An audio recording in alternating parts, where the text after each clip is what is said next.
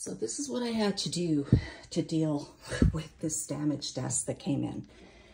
I literally had to somehow squeeze in here with a tool that I just luckily happened to have because getting into this spot right there,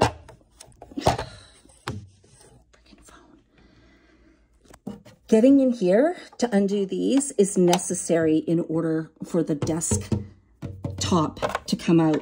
And getting this in here was practically impossible. As you can imagine, even like this, you can imagine what it's like when the desktop is down.